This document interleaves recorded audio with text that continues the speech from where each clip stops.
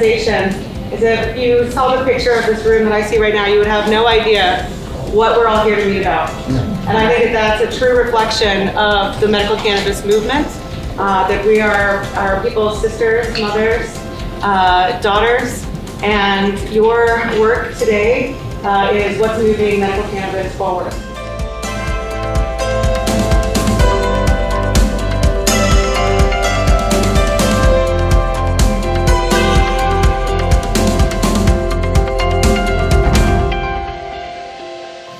I lost my career teaching due to my health, but what I gained is a new education of helping other people understand. Don't be afraid. We have been misled. The stigma needs to go away.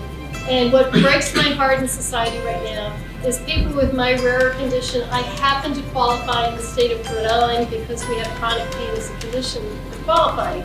But there's so many people across the country with my condition, like me, cannot metabolize and don't have anything to turn to because they don't fit into the qualifying condition. So Stephanie, I actually love the idea this year that it's time to do state by state by state. It's time to work together. Be like these other countries, you say 32 of them.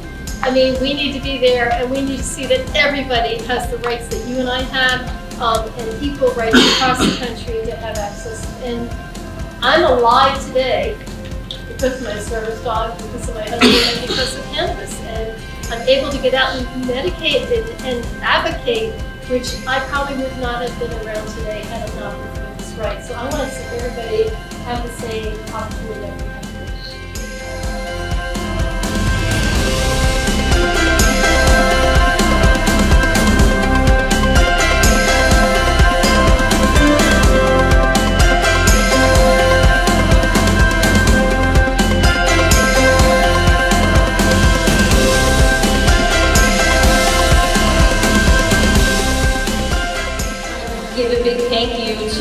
to ASA for providing the opportunity and the actual national backbone that we needed in Colorado to make sure that we uplift the medical cannabis community and industry there in Colorado.